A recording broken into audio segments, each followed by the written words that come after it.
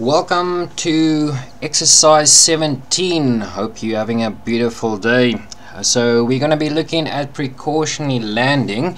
So in short is just off runway landings. This is usually used in emergency situations where you need to land the aircraft for some reason being a technical or problem with uh, maybe a medical emergency with a passenger uh, so this is why it's also class classified as an emergency but with power. So with having power we then actually have a bit of um, just choice to cho uh, choice of where we need to land the aircraft. You'll see in my description box I've uh, put something down for you there. It's called the WAS checks. I have to go through them quickly with you to make sure you understand how we are going to choose our field and actually um, how we're going to fly around the field to do the precaution landing. Now there are different types of precaution landings out there but I'm gonna demonstrate basically the main relative one that is a little bit longer than most but this is um, how it's supposed to be done in general correctly. So the WAS checks the W is for wind. We need to determine where the wind is coming from. So in this exercise we'll say the wind is actually coming from the south blowing towards the north. So with that being also said that will then actually help us to check what field we need to utilize for. Now also to see which wind direction is actually blowing you can use the last known wind direction given to you by ATC or if you're um, flying flying mostly you'll see some smokes or um, veld fires. That just give or even dust giving you an indication of what the wind is doing. So then I'm not going to go into much detail. You're going to get obstacles. So we're looking for um, maybe obstacles more or less that I don't know maybe somebody put an old car in the field and or you're just trying to find something with the least amount of obstacle period. Then we're gonna have a look at the size um, of, the air, uh, of our makeshift airfield. We're gonna look at the slope so we want something fairly straight and level. We don't want to be um, like this hill here on the left hand corner trying to land up or down slope. That's not gonna help our situation at all and then also the shape. So here we've got a nice rectangular shape that we can use. And the surface from what we can see is grass.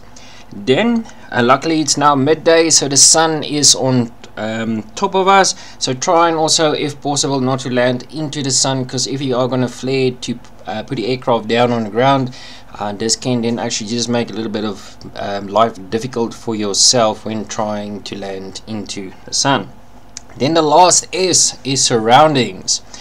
So you want to try and find somewhere to land where there's maybe like a little bit of housing around in in this area.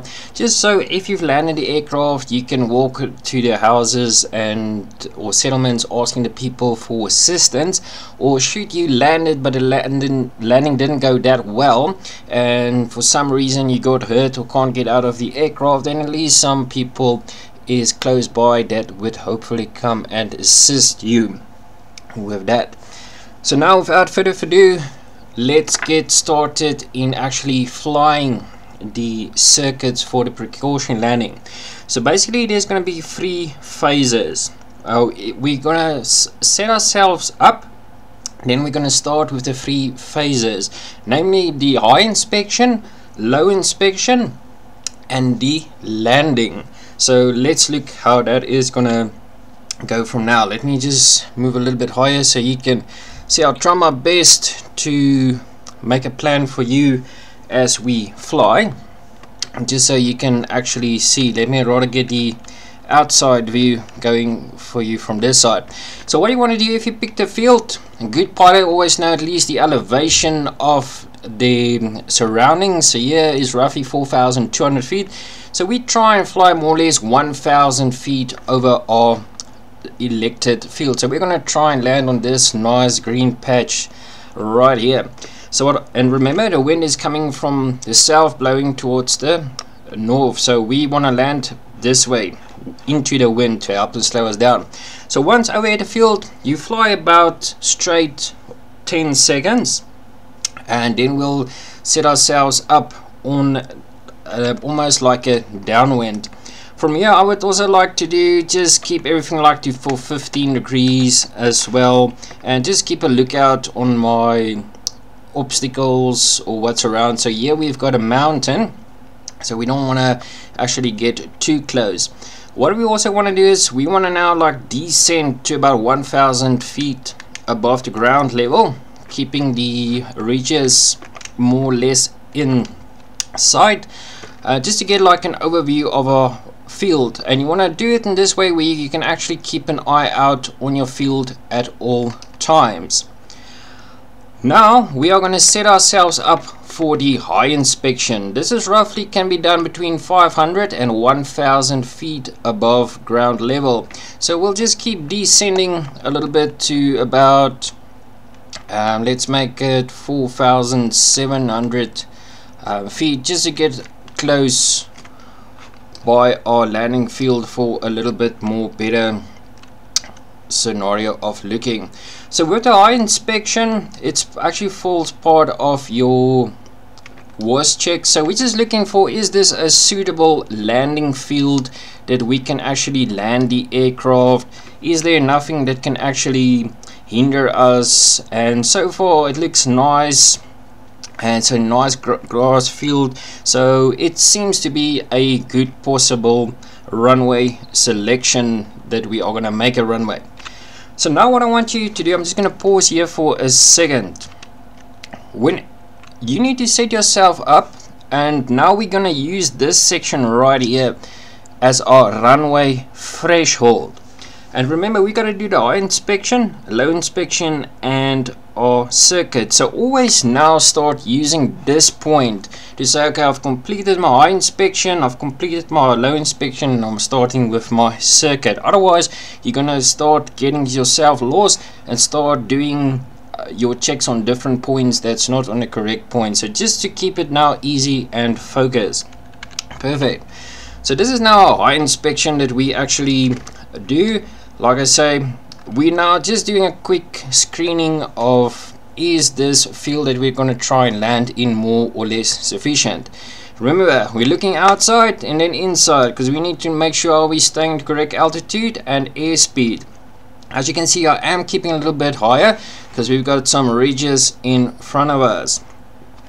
Okay now I'm just gonna add a bit of power for the climb.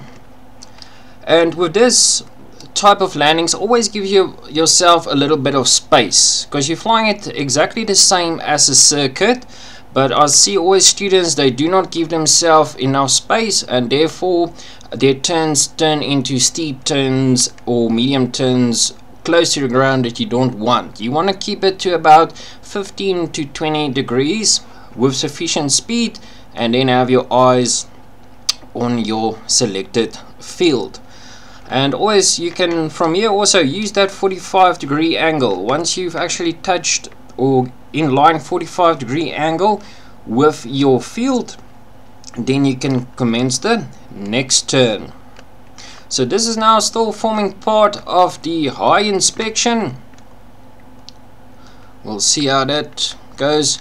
This was exercise and to save you some time on the simulator I'm just going to execute here and there a bit of uh, 30 degree turns but when you practice it I want you to keep to about 15 degrees. So this is just to speed things up a little bit on the simulator so I know you guys don't have all day so now we're just completing the eye inspection from this side of the field all looks good so we'll say okay let's elect that runway to use so from here what I like to do, I like to squawk 770, that's for emergency, so then radar can also see there is an emergency in progress.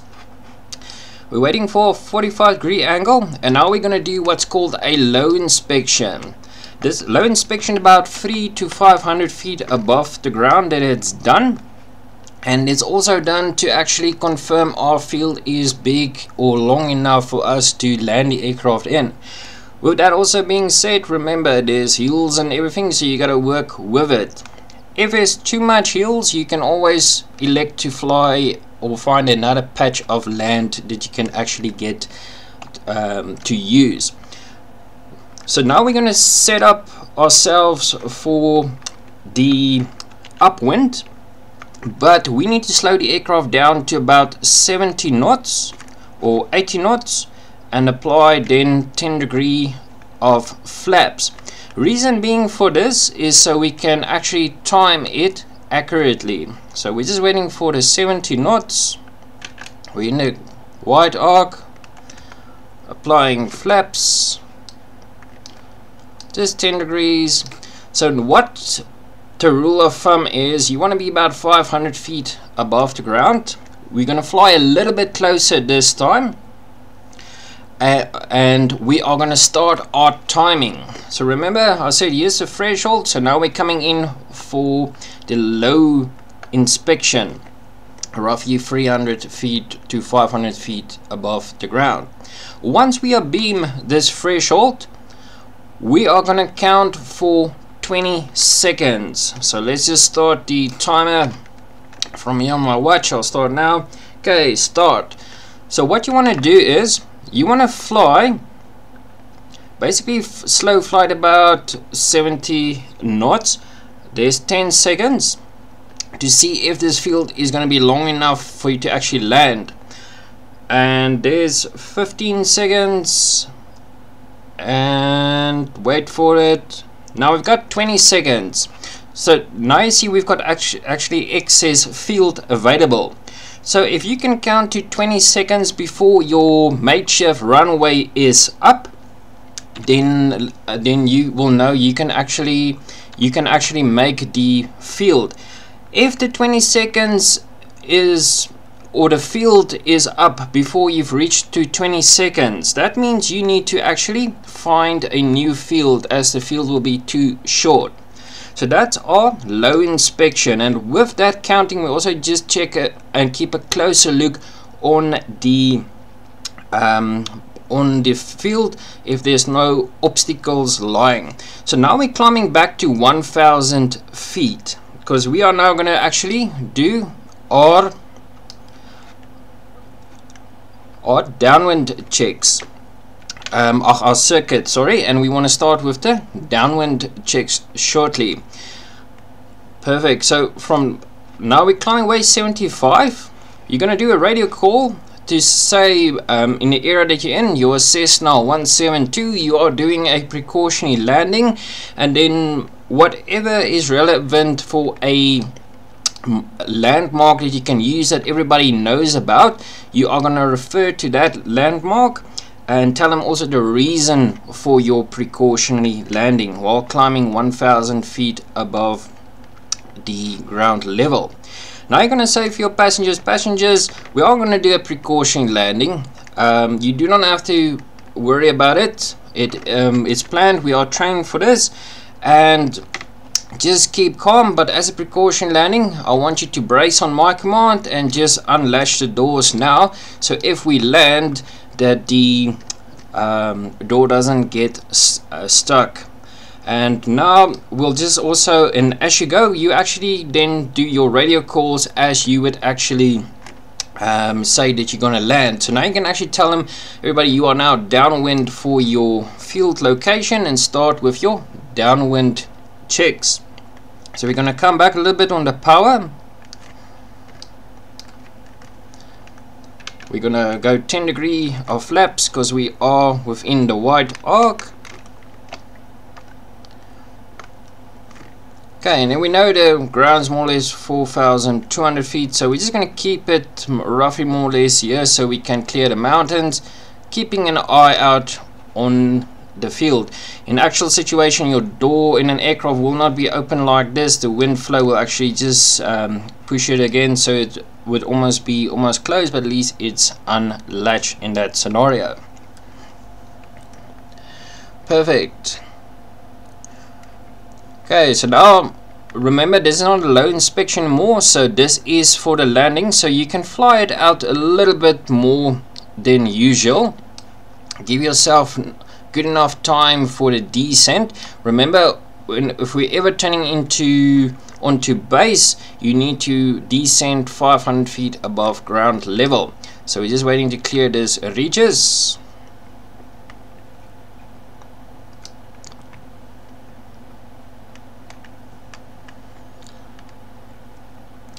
Okay, so now we can start turning base, keeping the uh, runway inside if possible, depending if you're flying a high wing or low wing. We'll then also get onto radio, tell everybody we are now turning base and we and onto finals for our makeshift runway. We're gonna now shut down the radios and we'll contact them on um, on the frequency once we've landed. Otherwise, they need to send help if they haven't heard from us in in about one minute. So from here just shut down all non-essential items. Leave the fuel pump on.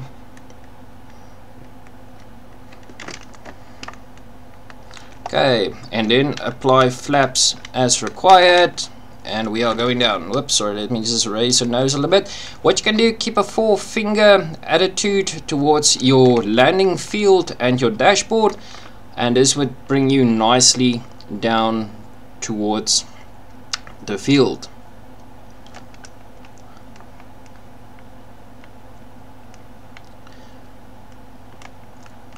Okay, so now we're getting closer and remember always your aircraft, if it flares, it still floats. So keep an nice keep flaring in mind. Okay, we've got our flap settings we want. We're to turn off the masters.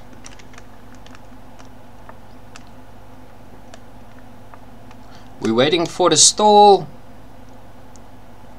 And then we'll land uh, safely on the ground and apply full brakes. Okay, so what I wanted also now for you to demonstrate when you go into into that flare let me just shut down from here so what I want you to demonstrate on a flare remember your aircraft still is gonna travel over the ground. So when you say brace brace for your passengers make sure it's at the correct time because you don't want to tell them to brace and then after three four second no seconds nothing happens because human nature will then actually tend then to actually look up and um, as they want to see why haven't we crash landed or landed yet and then you actually land or cause a crash and make everything worse. So you need to time where you are going to put your brace command in. And so you can also go ahead and practice that um, in your home sim. So now we've landed successfully. Now you can turn off. Also like I've done the motors and magnetos. Just put your battery master on and you can put your radios back on and get onto the frequency and tell everybody okay you've made a successful landing in the field.